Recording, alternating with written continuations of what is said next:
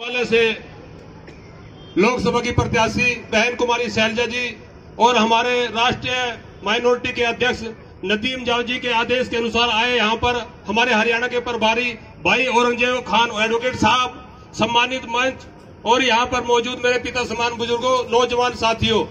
आज आपके सामने जैसे कि त्योहार आता है ईद का और दिवाली का त्योहार आता है आपके सामने बारह मई का त्योहार, जो सबसे बड़ा त्योहार, लोकतंत्र का त्योहार है, वो आने वाला है।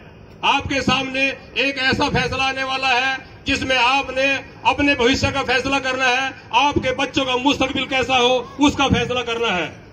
आज देश में दो ही पार्टियाँ हैं, जो सरकार बनाने की ताकत रखती हैं। एक तरफ़ बीजेपी पार्टी है, और दूसरी तरफ़ कांग्रेस पार्टी है। एक तरफ़ वो पार्टी है, जो देश को तोड़ना चाहती है। एक तरफ़ वो पार्टी है जो देश को जोड़ना चाहती है। तो जो वादे आपसे किए गए थे, अगर आपके वो वादे पूरे हुए हो, नौजवानों को नौकरियाँ दी हो पंद्रह पंद्रह लाख रुपए किसी खाते में आए हो, किसानों की फ़सल के रेट दुगने हुए हो तो भाइयों, आपका फ़र्ज़ बनता है कि आप इस पार्टी को वोट दें, बीजेपी सरकार को वोट दें। अगर ऐसा नहीं किया, आपकी भावनाओं को ठेस पहुंचाई गई है, आपसे खिलवाड़ किया गया है। तो उखाड़ कर फेंक दो इसके तख्तो ताज को। कौन कहता है कि मैयार गिरा दो? कौन कहता है कि मैयार गिरा दो? दुश्मन अगर निहत्ता है तो तलवार गिरा दो। अरे पाँच साल तक गुट गुट कर दो, जीने से अच्छा है। सरकार अगर निकम्मी और झूठी हो तो सरकार गिरा दो। तो मैं आपसे ये इल्तजा करता हूँ कि आने वाली बारह तारीख को अपना एक एक कीमती वोट आपने हाथ के निशान के सामने वाला बटन दबाना है।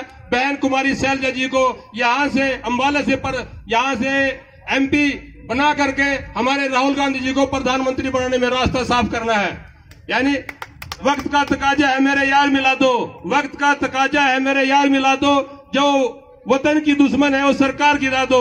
जो भाई को भाई से मिलने नहीं देती, बेहतर है कि वो सरकार गिरा दो। जय हिंद, जय सब अब मैं निवेदन करूँगा, हमारी महबूब नेता, जिसका आप कई घंटों से इंतज़ार कर रहे हैं, कि वो आए और आपसे वोट की इल्तजा करें। बहुत धन्यवाद।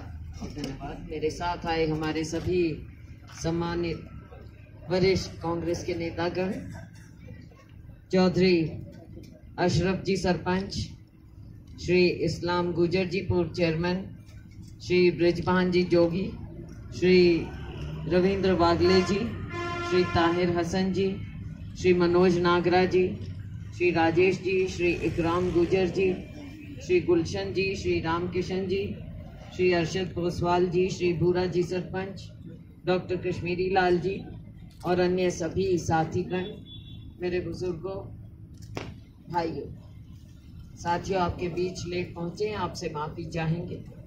चुनाव का वक्त है, हाजिरी कई जगह लगानी पड़ती है और आज आप भी हमारी यहाँ पर हाजिरी मानिएगा। दो बार आपने मुझे अपना सांसद बनाया